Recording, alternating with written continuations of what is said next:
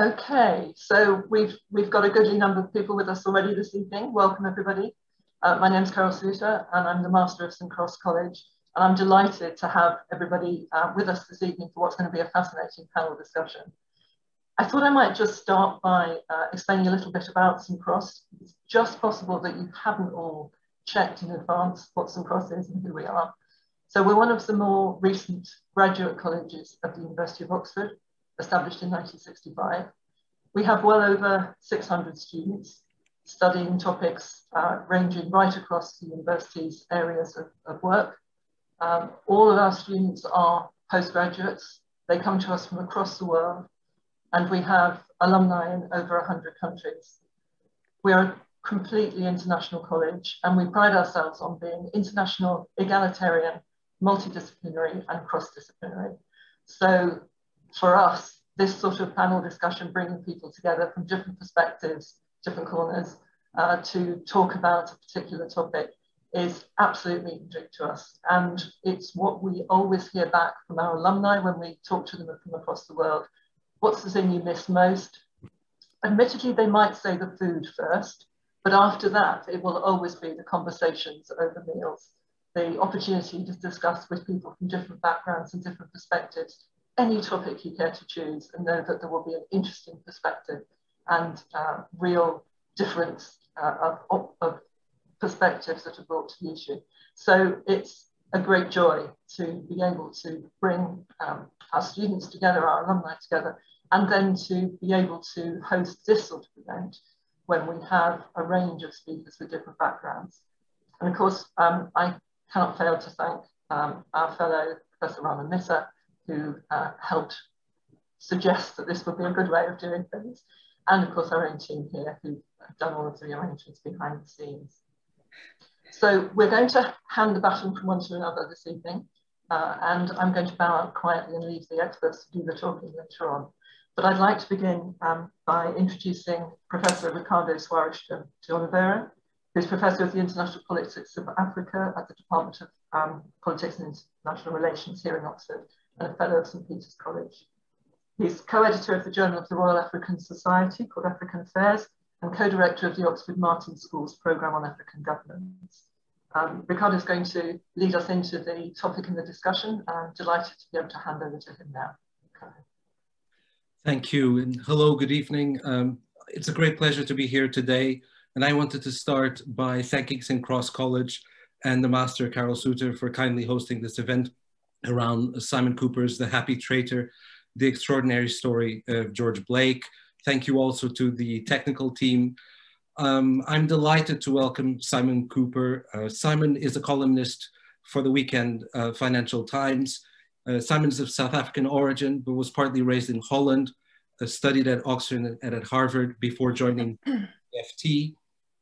Um, Simon's celebrated work uh, as a sports writer, including books such as Soccernomics, challenged the genre with a sensibility that is historically attuned as well as ethnographically minded and benefits, to my mind, from a degree of lucidity and detachment that is extremely rare in the field.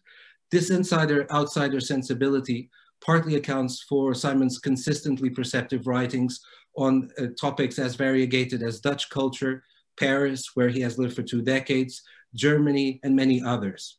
Uh, for more than a decade, in addition to his sports writing career, Simon's weekly columns have discussed urbanism, changes in popular culture, books, and much else, including most recently our own university's putative role as incubator of Brexit in the person of the Prime Minister and his 1980s undergraduate colleagues. Simon's book, um, The Happy Traitor, has a, an interesting, fascinating genesis. Uh, Simon, through a uh, Dutch-based contact in um, Moscow, managed an extremely rare interview with George Blake. Uh, I assume this was George Blake's last interview, but also one of the few significant interviews he will have given over um, the decades. Um, over about three hours uh, in 2012, Simon was able to converse uh, with this uh, remarkably charming, but also very elusive, very evasive man uh, and what the book does, it builds on that encounter, but it's much more than that.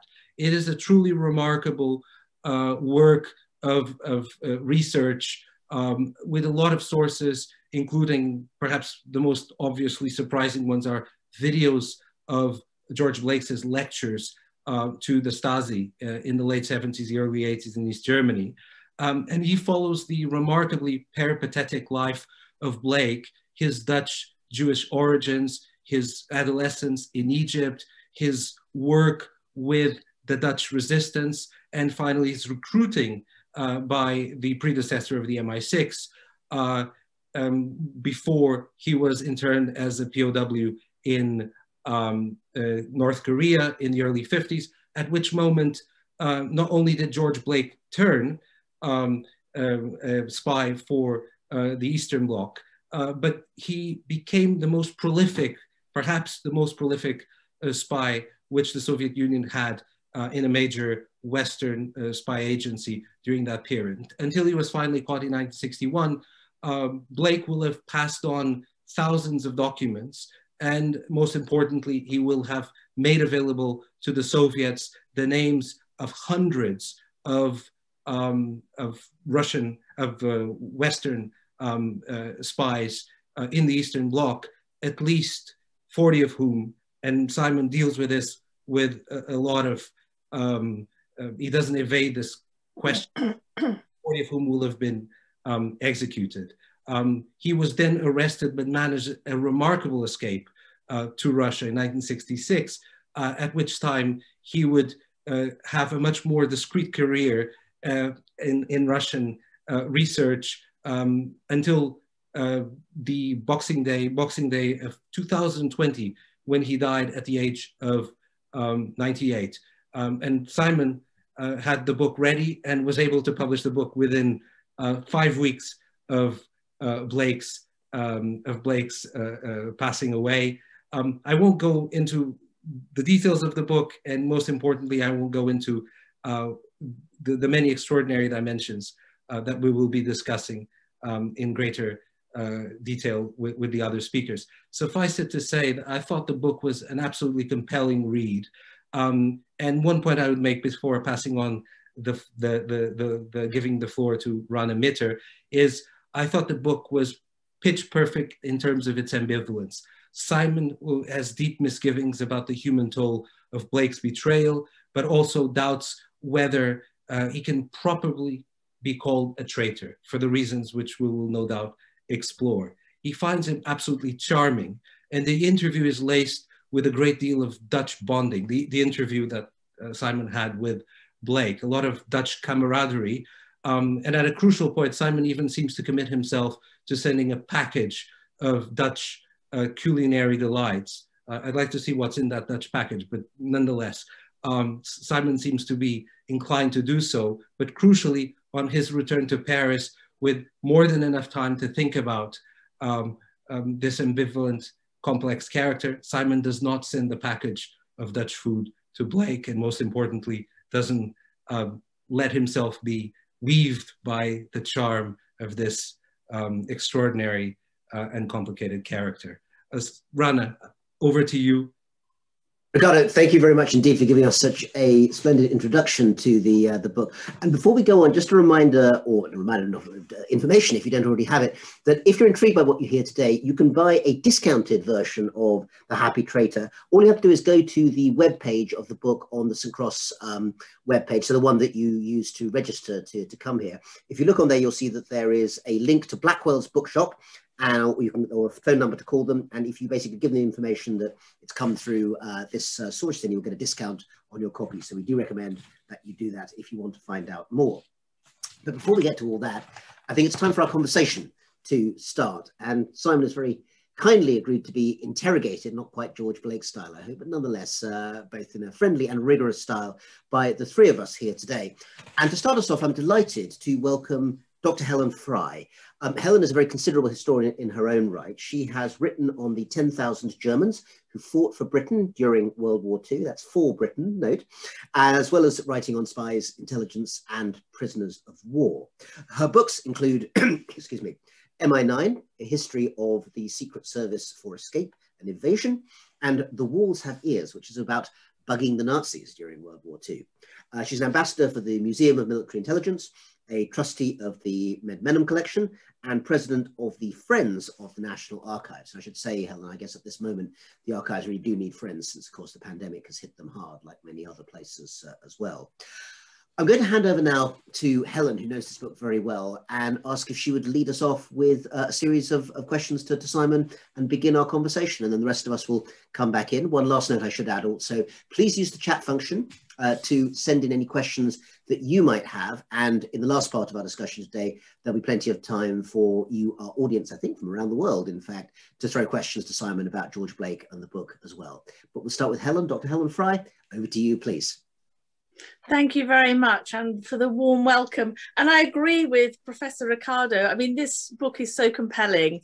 And Simon and I have chatted already and uh, knows I'm a great fan. So, congratulations. And I heartily encourage you to buy the book, everyone. I want to start with that interview because, of course, that is at the heart of the book. And as Ricardo was saying, you are probably the last, one of the last Western journalists ever to have interviewed George Blake. I mean, that's incredible. Can you tell us how that interview came about? Because something very special, isn't it, with the Dutch connection? It's not that easy to get to Blake. No, it's not. Thank you, Helen. It's very intimidating to be interrogated by three people much more erudite than me. It's a bit like Blake's interrogation in 1961 by his uh, colleagues in MI6, which was also quite gentlemanly and Oxfordian spirit. And thank you to St. Cross for hosting. Getting to Blake, I mean, I'd read about him. I remember vividly in 1999, I was visiting a friend in Amsterdam. I read a Dutch magazine about a story about this amazing man who, you know, was a British KGB agent, but really he was Dutch. And the journalist interviewed him, and I thought, I'm going to do that one day. I'm going to find this man, George Blake, and interview him. And I'd been to Moscow various times. When I went in 2012, I contacted a Dutch friend of mine, Derk Sauer, who's a kind of media magnate in Moscow. He's now owner of the New York Times, of the Moscow Times, sorry, and he created uh, Russian Cosmopolitan, Russian Playboy after the uh, after Glasnost. And Derk was friendly with Blake, and so Derk put it to Blake, and Blake was interested. You know, I was going to interview him for a Dutch newspaper. And so Blake wanted to interview me first because, you know, spies are pretty careful people. So I was walking around this Moscow graveyard looking for the graves of Chekhov and Khrushchev, and my phone goes. And this man says to me in Dutch, in a sort of pre war chic Rotterdam accent, um, George Blake here. And so we have a very pleasant, polite chat. You know, he is a very, um, he was a very kind of easygoing, chatty person in my experience. And I know that, that his problem, his anxiety, is that he wants to ask me, Are you going to ask me about Putin? Because Blake didn't want to be asked about Putin because he loathed and despised Putin. He thought this cynical, violent KGB regime, oddly, was not to his taste because Blake at heart was a peace loving Democrat, weird as that may sound, certainly in old age. And I said, don't worry, I'm not going to ask you about contemporary Russian politics. I want to ask you about your life. So he invited me to his dacha. And the agreement was I would only write this for a Dutch newspaper because Blake said, you know, this was conveyed to me subtly by him, but more clearly by Sauer. His ex-wife and his three sons live in Britain. And they didn't like it when stories about Daddy the KGB agent appeared in the British press. Mm-hmm. But Blake was very happy for it to be written about in Holland. He'd left Holland 70, 70 years before. He was quite nostalgic about the country. And um, so that was a goer. So this started as just a newspaper interview, um, just to be published in Dutch. And that was the plan. And I walked out the door of his dacha three hours later, thinking, I've been a journalist for a long time, but that is the most interesting interview that I've ever done. I really think that there might be more here than a newspaper article. But my children were very small at the time. I had no time. My entire weekend was taken up all the time. So I just wrote a Dutch newspaper article and tried to put it out of my head. Until a couple of years later, I thought this really should be a book. Then, just to finish this, I begged permission from Derk Sauer. I said, look, you know, it wasn't going to be published in English, but mm-hmm. I think this should be a book. And Derk said, publish when Blake dies, because then his family will have to deal with a wave of publicity anyway. It won't really matter if you're past that wave. So wait until he dies. So that was the agreement, and that was conveyed to Blake by Derk. Blake knew this book was coming, but I think in his old age, he had kind of lost interest in those things. He wasn't very interested in his reputation or what people thought of him. So, how did you actually find him? I mean, him, him as a man, I mean, he was charming, wasn't he? I mean, what was it like that day of the interview? Well, must I, have been a surprise. Yeah, I mean, I'd read his autobiography, I'd read a bit about him, so I was, you know, semi informed, as journalists are usually. And so I arrive in this suburb outside Moscow. It's Saturday morning. There's quite a lot of traffic jams, as people who know Moscow will know. And I walk down this wooded lane. It's like being somewhere in Surrey, actually. And this little old man with a little dog and a cane with a dog's head is waiting for me in the lane. It's like a, it's like a rendezvous in a Le Carré novel. And he pushes through this door and we enter this garden of this wooden dacha uh, painted green. And Blake, we're speaking in Dutch, and Blake says to me, this dacha, you would not believe it, is pre-revolutionary. And it is a very large garden. It is like being in, a, in the home county somewhere. And uh, we sit down on the sofa. He was nearly 90. And he's almost blind at this point. And he said, I can see that somebody is sitting next to me, but who that person is, what he looks like, I cannot see. And I said, look, you know, do you want to speak English or Dutch? And he said, I so rarely get the chance to speak Dutch, it would be a pleasure for me. So we spoke Dutch. And so, yeah, from the start, he was um, likable. He was mm-hmm. able to reflect. He didn't immediately shut down questions. He wasn't just doing self-justification all the time. And it was, it was more conversational, I would say, than an interview.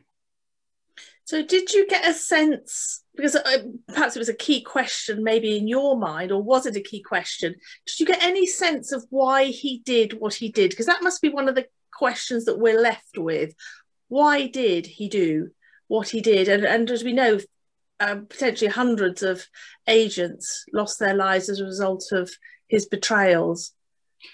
I mean, there's a there's a theory in Blake writing that he hated England because as a half Jewish foreigner, he was rejected by the snobs in SIS. And so he was taking revenge on the class system. Now, I'm sure they did, did see him as an outsider and they didn't see him as one of us, etc. But he didn't really mind that. He never saw himself as particularly British. And, um, you know, his patriotism was much more Dutch. The reason he did it was he was an idealist. He had grown up a very devout Calvinist, which is quite a common phenomenon in pre-war Netherlands planning to become a Calvinist pastor. And then after, you know, 1945, SIS sent him to the liberated Netherlands and then to occupied Germany. And for British intelligence officers at the time, there was a lot of kind of um, partying, uh, wine, women, and, uh, you know, occupied country houses. And he felt that he had um, behaved badly he had not lived like a pastor should, and therefore he uh, he'd lost his vocation. He couldn't become a pastor anymore. And at this point, SIS offers him this you know new career in, in spying, spying really against the Soviet Union. So he stops being so Calvinistic, but he remains in search of an ideal. And while he's in Korea during the Korean War, he's there as an intelligence officer. The North Koreans imprison him, goes on this terrible death march. He has two years sitting in a farmhouse um, where he's given Marx to read in Russian. And he thinks, well, I might die here, like so many people, and I want to die for a cause. And the cause that I've come to believe in, he thinks, is communism. So he, so I said to him, really, you transferred your Calvinism into communism. And I thought he would say, no, it's not like that at all. It's much more complicated. And he said, yeah, that's exactly what I did. And I said, was your communism of faith like your Christianity was? And he said, yeah, I think it was my my final question till I hand on to someone else is really there's been there have been comments. I mean, you've had some fantastic reviews, but there has been a comment that you've been too kind to Blake. You found him charming. Did he charm you? Have you been too kind to him in the book, or do you feel you've actually got to the heart of of him and that we've got a new understanding of him? I think that we journalists are very susceptible to being charmed because you know we I think in comparison to academics, who I know is a species as well, academics are often people who want to read a book by themselves in a room. And then they, are taken out of that and they're forced to interact with students and do administration, etc. But I think that's the profile that gets attracted to it. Journalists, journalism tends to be attracted to people who want to go out and talk to lots of people. So we tend to be quite sociable and, as I say, easily charmed by nice people, which is a which is a problem. And I think that if I'd sat down excuse me, the evening of the interview and written an article or tried to start writing the book, I would have been too positive about him. Mm-hmm. I think that the effects of years and years of reading about him, and you know, I, I, was not a historian of espionage in any way, not like you. So I really had to ground myself in this very complex field. So it was a lot of reading. And I think by the end of it, I've tried to give a fair account of Blake as a man who did terrible things. Mm-hmm. But he's not a man that I managed to hate all through. I mean, I think he was a well meaning man who became a de facto serial killer. And the other thing is that I think some of the reviews that make that point that you say, and I, I respect that, I think are driven by a kind of British patriotism that I also don't quite feel. So mm. for some of some, let's say, more conservative historians, Blake is a criminal because he betrayed Britain. And that's just not how I am programmed to feel. I feel Blake was a criminal because he, he sent many people to their deaths. Mm. But the treachery aspect of it is not something that uh, bothers me morally so much.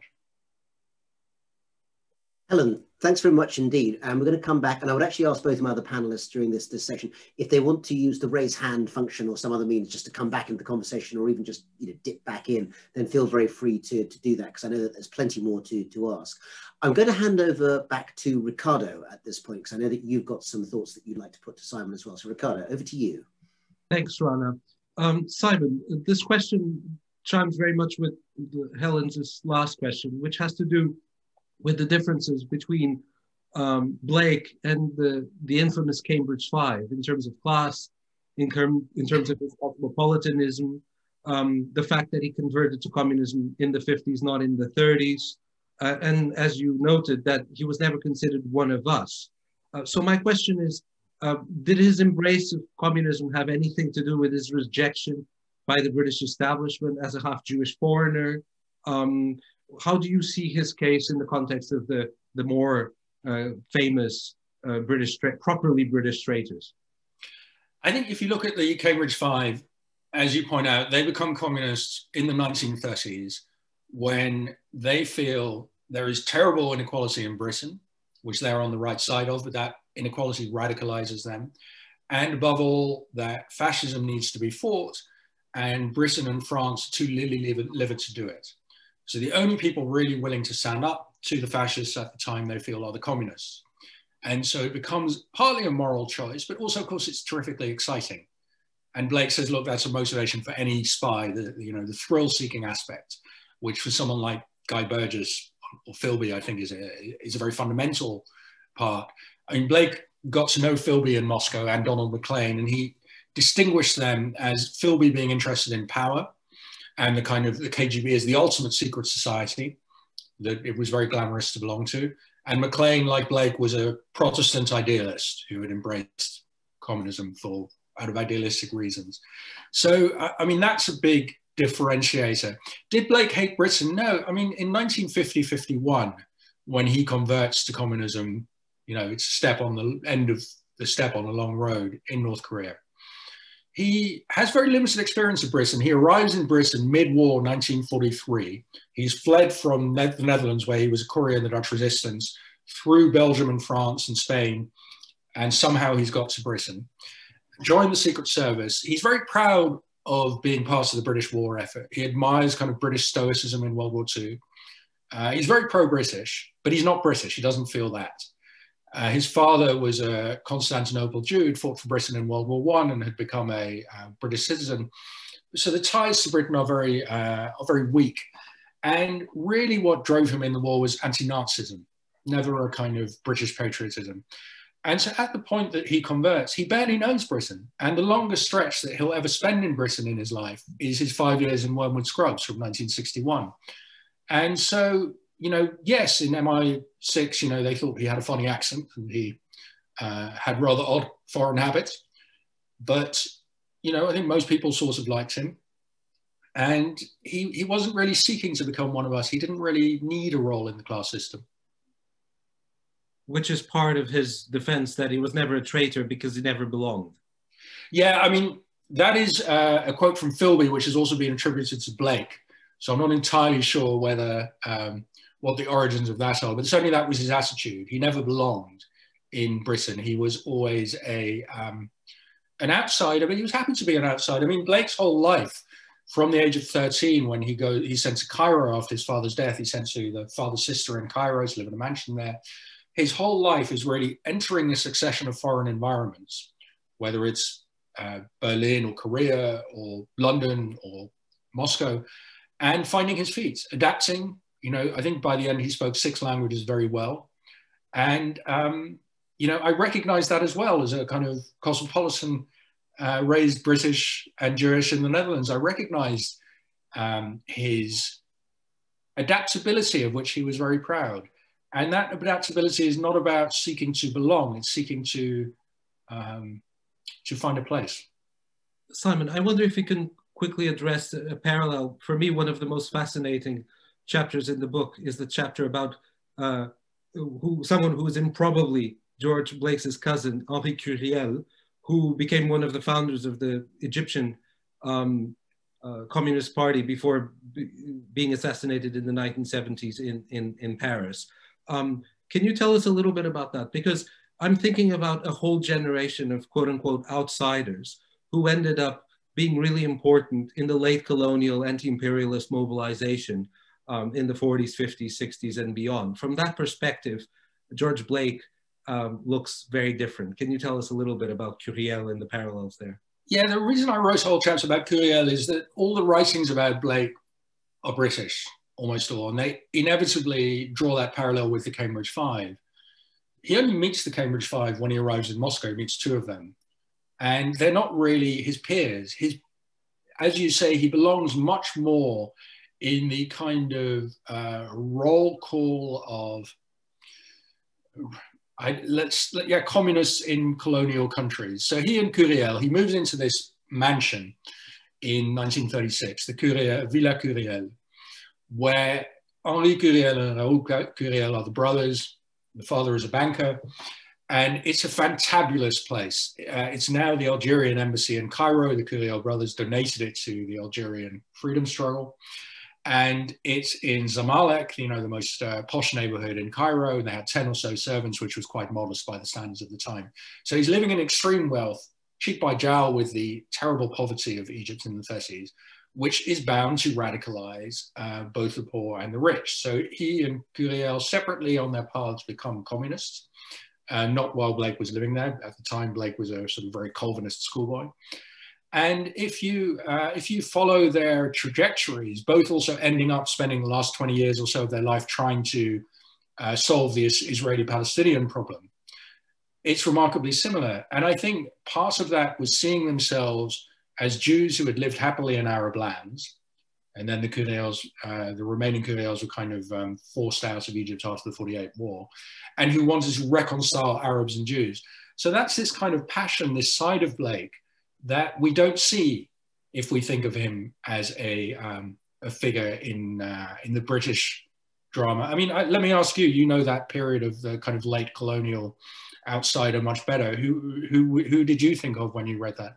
I'm thinking of virtually every major uh, late colonial liberation movement, um, sometimes politically radical, sometimes merely uh, movements that want national independence um, and little else. But all of them have a cast of um, outsider characters.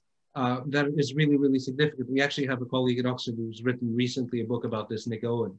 Uh, I think it's really, really, really, uh, it opens up a whole different dimension of comparison. He looks entirely different to my mind from that perspective. I mean this not from a normative perspective. He, he still is, at the end of the day, the sort of political serial killer that you described him to be. So this is not a value judgment, but it's, it's a very exciting angle to make sense of Blake's trajectory. Uh, Simon, if I may, there's an aspect here having to do with, with the Middle East that I, I wanted to, to, to raise, which recurs at least twice in the book. Um, you, you discussed the parallels between Blake's idealism and contemporary jihadis. Uh, I wonder if you can tell us a little bit about that. Well, I mean, as you know, Ricardo, I live in Paris. I'm speaking to you from Paris, and my cycle route to my little office every day. It takes me past the Bataclan, the music hall where the massacre is the main massacre of the 2015 terrorist attacks happened. So that was very much on my mind, those jihadis, while I was writing the book, let's say in the years from about 2015. And I think that uh, the parallel is very strong because Blake, like the jihadis, is this young man who feels he's living this immoral life. He needs to find seriousness in the cause.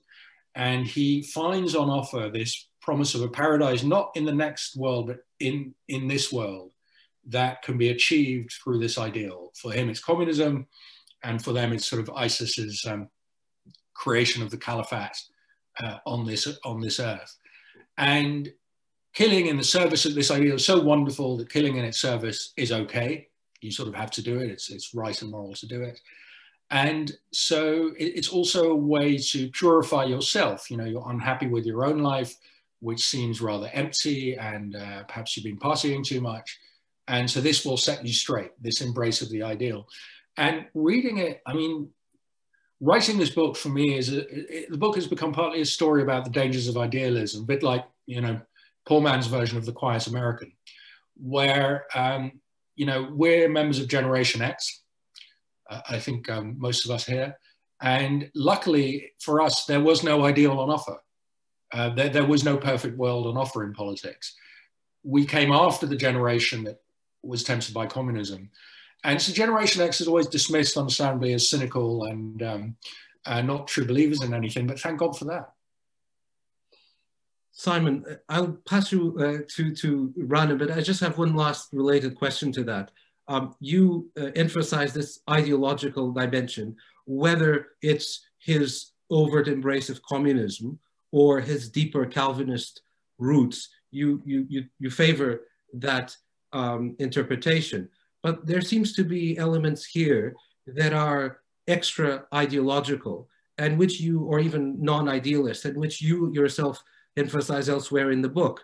The fact that he wants to be part of something important.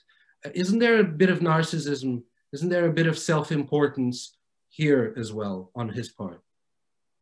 Yeah, I mean, look, every conversion has multiple factors, and some are psychological and some are uh, ideological.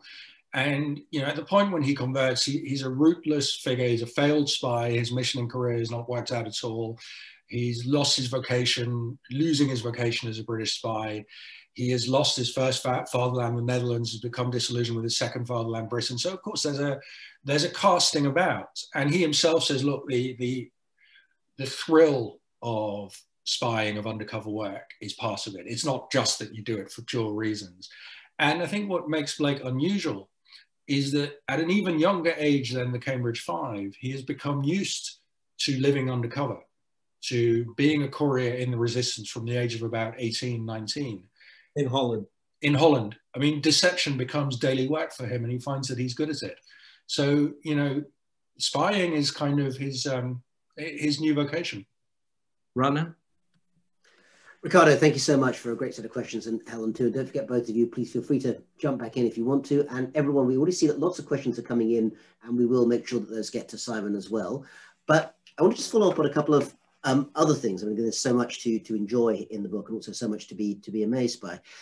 Could I ask, because actually you do dedicate a chapter to this as well. It's something some of the reviews have mentioned, and I think it's morally important. Could you say something about the victims? I mean, as you said more than once, this is someone who sends. I mean, the, the newspaper headlines after he's arrested said 40 people, but actually it's more like hundreds of people to their deaths could you pick just maybe one or two people who almost certainly died as a result of Blake's actions and just tell us a bit about them? Uh, well, an SAI's calculation seems to be that he, and Blake's also, was that he betrayed the names of hundreds of agents, of whom about 40 were killed, because the communists post-Stalin were less bloodthirsty than they had been before. So a lot of these people were thrown into jail, etc., which is also pretty horrible face. Uh, let's take a man called uh, Robert Bialek, I think he was, who was an East German who um, was a principled anti-communist. And he um, makes the mistake of uh, deciding that the revolution, initially he's an anti-Nazi, he sympathizes with the communists, and then he decides that the communist revolution has gone wrong and something should be done. And so he's this completely principled guy. Is uh, goes off to West Berlin, but from there keeps broadcasting anti-East German stuff. So the belief is that Blake gave his name to the East Ger- to the Soviets who gave it to the East Germans. One night at a party in West Berlin, Bialek has a drink and collapses. The drink has been spiked. two guys say, don't worry, he's our mate, he's a bit drunk. And Bialek by this point has locked himself in the bathroom knowing that things are going horribly wrong. These guys take him out, call a taxi and say, don't say to the other guests, don't worry, we'll take Robert home to sober up. He disappears in a taxi and is never seen again, believed to have been tortured and killed in East Germany. So that is an example with a name. Examples without a name, uh, one MI6 officer who ran operations into Russia, which often involved uh, immigrants, emigres, refugees from the Soviet Union who were anti-Soviet. He would send these people back into the Soviet Union with on missions.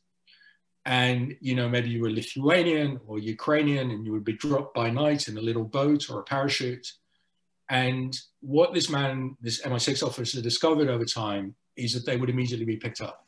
The Soviets were waiting for them and they were never heard of again. Uh, he was an MI6 officer called Frank, Frank Bicknell. So he realizes over time these people were betrayed and they were betrayed by Blake.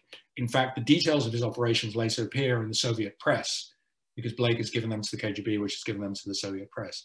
So these are many unnamed young Soviet emigres who die.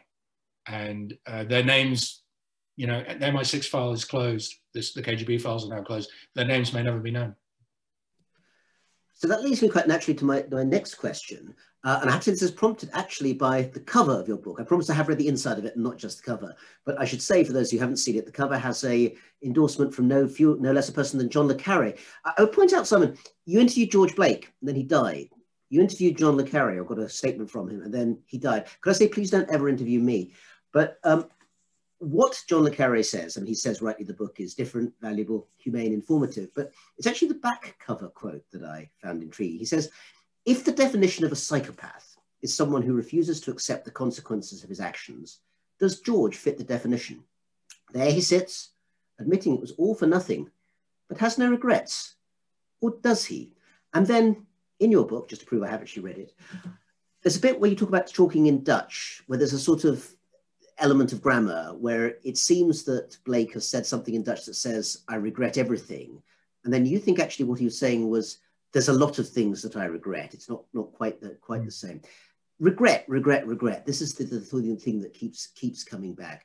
What do you think? Did he regret? Well, firstly, on Le Carré, my hands are clean. Uh, I never actually met Le Carré. But I am friendly with Philippe Sands, who is a neighbor of Le Carré's in Hampstead, of course. And Philippe kindly got the books to Le Carré. Le Carré seems to have read it, wrote an email about it, which is very nice. And I was kind of bugging Philippe, can I use the email as a quote? Can I use it as a quote? And then Le Carré died.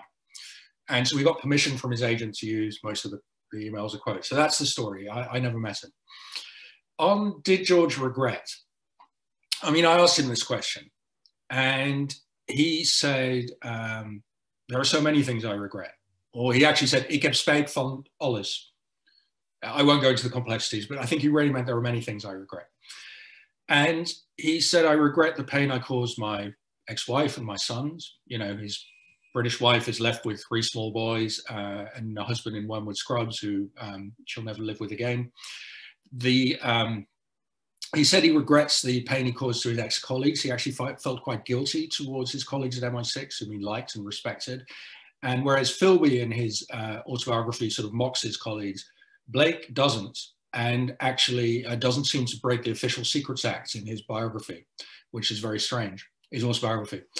Um, did he regret the agents? I think he coped psychologically by living in denial. His, uh, he didn't like the fact that he had participated in killing people. And he had told the KGB, I think he really had, look, you can protect the Soviet Union, but you mustn't hurt these people whose names I'm going to give you. Now, of course, that's fantastically naive because the KGB, if they caught a tracer in mid-Cold War, did not give that person community service. So um, he must have known that these people were going to be hurt, killed, but he didn't, he wasn't able to accept that. So he coped, I think, psychologically by living in denial about it. Well, if I could add off the back of that, actually, a question that's come in from John Nandris. Uh, and actually, I'll start feeding in some of the really interesting audience questions that are, that are coming in. Uh, he's phrased this actually, you've phrased this, John, in a rather interesting way. Idealist to Calvinist to communist. Fake? Yes. did he really think that, quote, my sins are not my fault? I that's getting the idea of, which you brought up earlier, the idea of, you know, Calvinism and communism being a conversion of one thing to the to the other, which you said that he he, he would have accepted. Is the word sin kind of, you know, it's a very Christian sort of concept. Is that something that he would have uh, accepted as, as a way of thinking about this? Blake, very early on in life, I dispute that his Calvinism or communism were fake. Blake, very early in life as a child, embraced this very fundamentalist, hardcore version of, of Calvinism, which was that everything is predestined. There is no free will. You know, um, God has made us and he shapes everything we do. And therefore, we're not responsible for our actions in his version of, um, of human agency. We, we, we're just instruments of God, like the clay made by the potter. And so that, of course, was very uh, reassuring for him, you know, having done terrible things. He could always say to himself, look, you know, it wasn't really me who did it. Uh, I, I, was just a vessel of God, and I have been used both for good and for evil purposes, but by God. So I think he both genuinely believed it, and it was psychologically very convenient for him. His childhood belief in predestination stayed with him throughout life, and his autobiography, which he wrote at the age of about 70, is called No Other Choice, which is kind of most fundamental worldview. Add on to that, a question that actually comes uh, from uh, Mark Hornwell, um, which is you've said that you know in, in some sense ideologically he's loyal loyal to to communism as, as an idea a kind of ideal world which which never really came off. Would he have said he was loyal to the soviet union which of course is not quite the same thing? I mean the soviet union is no longer with us. He outlived both the british empire and the soviet one. And so he he had both he had that traumatic experience. And he i don't think i mean he there's a complexity. He goes to cambridge like the others but only for a year on a kind of sandwich course in 1947-48 to study russian. And falls in love not so much with the soviet union as with russian with the language and with orthodox christianity which he, he finds the services very beautiful. In old age he had uh, orthodox icons on his walls. And so he starts to transfer his patriotism towards Russia. So he falls for a kind of older version of Russia, which becomes commingled with communism. I mean, he arrives in the Soviet Union under Brezhnev at the end of 1966. It's a very hard place to love. And he realizes within a week that Soviet, the communism doesn't work. So he, he's able to move on kind of emotionally in that way that's intriguing to me actually that he was so he took against Putin so much because of course one of the things that's true about Putin it seems that his attachment to any kind of ideological communism if it was ever there has long since gone but his attachment to the sort of symbolism of orthodox Russia seems to be to be very strong and yet you said that Blake really didn't take to Putin. I think he saw Putin as a cynic I think Blake thought that idealism was a wonderful and beautiful thing. And so he said he was happy that he had, you know, done everything he had done to serve communism because even though communism had failed, it was an experiment that might serve humanity in centuries to come, sort of like the Jacob Rees-Mogg view of Brexit. So he believed very strongly that it was important to have ideals. And in Putin, he saw nothing. Um, I have to say also there was one thing, that, one of many things that was very intriguing about the uh, Curiel chapter, which was that uh, I have to say uh, on one half of my family, we actually have quite a lot of Curiels. Uh, I know that it's not an, uh, a, a, unique name, but it's not that common either. So I shall have to do some family digging and seeing if there's anything going on there that we, we need to, to find out about. You know, yeah. yeah. Indeed, we'll get back back to volume two if, uh, if, if, if, if so. One of the sort of portraits, pen portraits really, that struck me as um, fascinating, poignant, rather sad really, was something you've alluded to briefly, which is the fact that there is this sort of ghost community, I suppose, of ex-agents who lived in Moscow after they'd been, you know, rendered or escaped and, and headed over to the Soviet Union. I mean, Donald Maclean until Donald Maclean, one of the Cambridge Five, died, I think, in 1983, and there's an account there. I mean, obviously from before your your work, but of uh, George Blake uh, seeing and, and, hearing about the, uh, the, the that, that, particular death.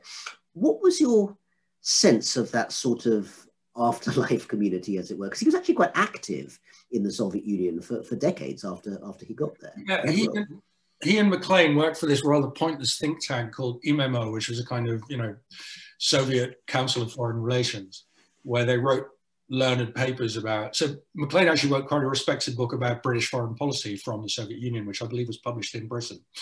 And um, so Blake, and, Blake is invited by Maclean to become a kind of uh, Arabic expert uh, in Imemo and they potter about. Nobody works very hard. Nobody really pays any attention to the stuff they publish. I think like most universities, in other words. Possibly, but uh, yeah, I was going to say less well paid, but yes, less well paid. Yeah. Um, now, I think the key difference between the the traitors who had a happy afterlife and those who didn't was adaptability. So Blake was rather contemptuous of Philby, who he saw as a British gentleman who didn't understand uh, Russian or Russian life and wasn't able to adapt, who read the Times and uh, put the Times in sequence so he could do the crossword puzzle each day and followed the cricket.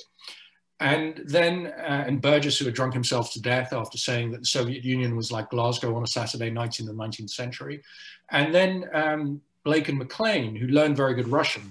Blake said Maclean's Russian was better than his own, and who made a go of it in the Soviet Union, who really um, also maintained a kind of belief in communism with a human face that uh, when Gorbachev came along, Blake thought that might be it, who uh, found a, a second gear, which, which Philby was never able to do.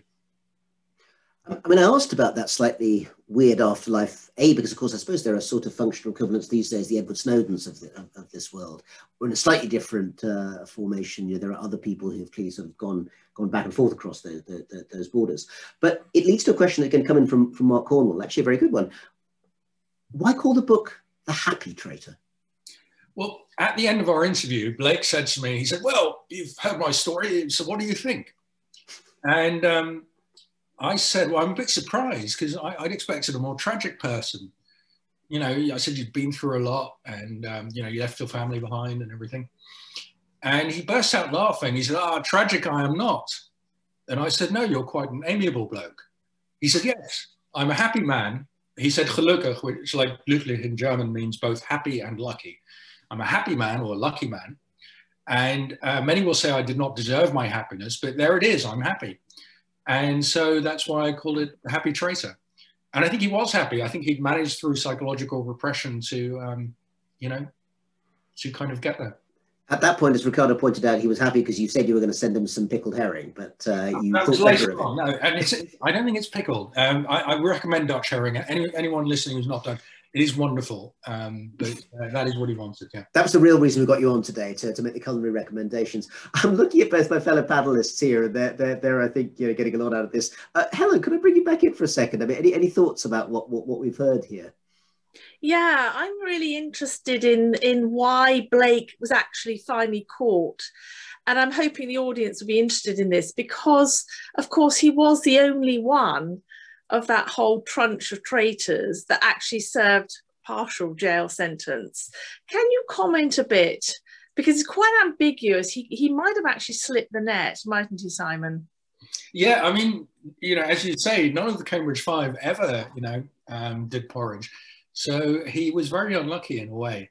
So he confesses during interrogation because he's offended that they think he did it because he was tortured. He says, no, no, I was an idealistic traitor.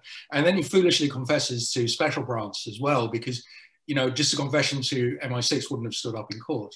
Yeah. And then they take him off for a country weekend, his three interrogators, to um, Harry Shergold's um, cottage in, I think, Surrey. And Blake and Shergold's mother-in-law make pancakes for everyone in the kitchen. And It's all very jolly weekend. But meanwhile, MI6 is trying to work out, so what do we do with this bloke? And one option, which seems to have been discovered, discussed, is do we bump him off? You know, that mm. removes the problem. I think it was felt that bumping off a British citizen in Britain was going a bit far. And the other alternative is you let him do a fade, uh, as Philby was allowed to fade from Beirut into the Soviet Union. And um, Dick White, who's head of MI6 at that point, says, no, we're going to put him on trial. We're going to make an example of him. Where, and on trial, he gets 42 years. But yeah, I mean, this is, you know, it's remarkably harsh given that um, Cairncross confessed multiple times, John Cairncross. Anthony Blunt confessed and was allowed to keep remain keeper of the Queen's paintings. So uh, Blake was understandably a bit knocked that he was the only one who went down for this, albeit not very long, because getting out of British jails in the 1960s is not very difficult. Yeah, I was going to follow up about that. Can you comment on those that helped him basically break out? And do you have a sense of of why they'd they'd helped him? Do you think there was a sense that his sentence had been unfair? Yeah, well, when he escaped from jail, there was a lot of supposition that the KGB had uh, got him out, which wasn't true. And there was a conspiracy theory that MI6 had let him go, which also wasn't true. But it was felt that for a man who'd given, got 42 years in jail to escape from Wormwood Scrubs so simply must involve a major intelligence agency. But no, it was three ex-cons. Uh, Sean Burke, who was an Irish prisoner who um, had been put in jail for uh, sending a bomb to a police officer who accused him of paedophilia. Uh, the police officer didn't die, but Blake, uh, Burke was sent down nonetheless. And two uh, peace activists, um, Pat Pottle and Michael Randle, who had been mm. banged up in the scrubs for, sorry, I'm using a lot of prison terminology now because it's so beautiful, the language. They'd been banged up for um, trespassing on a US military base. And in jail, these three meet Blake. Like everyone in Wormwood Scrubs, they love Blake. He's the most popular prisoner there. He teaches everyone German and Arabic and French. Mm. He writes letters to authorities. And they feel it's, in, the peace activists feel it's wrong for a man to be given a 42 year jail sentence. That's just, just inhumane. And Burke um, just hates the British establishment. And so he likes the idea of getting Blake out of jail. And Burke also was an artist at heart. He was a writer, and he saw from the beginning that freeing George Blake, the escape of George Blake, was going to be his great work, his great book, which he indeed wrote. The Spring of George Blake is a very good book. Mm. So um, Burke, who was, uh, you know, semi-educated, grown up in very difficult circumstances in Ireland, he had inside him this book. So they, uh, it's not very difficult getting out of Wormwood Scrubs. A burglar inside breaks the window. Blake gets to the wall. He jumps down. Um, Burger supplied a rope ladder made of knitting needles, but forgot to tie it to anything. And they hide in a bedsit in Shepherd's Bush for a bit then in one of the peace activists' flats in Hampstead, and then they get out. So why these did, men did it was a mixture of um, moralism and then of kind of um, anti-British um, high spirits and art, art really, desire to create art.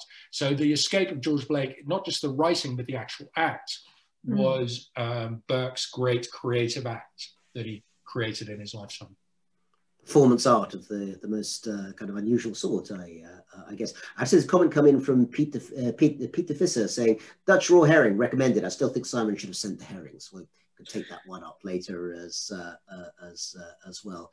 Um, let me just throw back to actually. Let me, if I may, just throw in a question that's coming from Richard Bryant, and Richard's asking thinking of George Blake's long years in that kind of ghost community, did the Soviet Union, then Russia, exploit or seek to gain politically from him? And what, if anything, did Russian citizens know about him?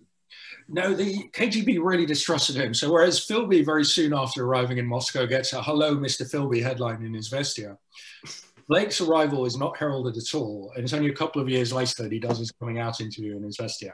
And the reason is that the KGB don't trust him because they think, how can a traitor who has got a 42-year jail sentence have escaped so easily from Wormwood Scrubs? MI6 must have done it, and they've sent him to us as a triple agent. And so uh, they were very, the KGB was very wary of Blake. They wouldn't give him any work. They told him to rest, which he was not inclined to do. And so it's only when Maclean saves him with his job in Imemo that he gets something to do. So no, there was an enormous distrust uh, by the KGB of Blake. And also, you know, his, his spying usefulness was obviously gone because the Brits knew everything about him. So he had to cast about for a new role and uh, he clearly found one, even if it was in a slightly dodgy think tank where he was dealing with with, with Arabic texts. But you know, I suppose there are worse fates, many of which were suffered by his uh, his victims. Um, we're beginning to to get to. I just want to check, Helen. Sorry, had I not cut you off there? Was there anything else that you wanted to, to put in at that point?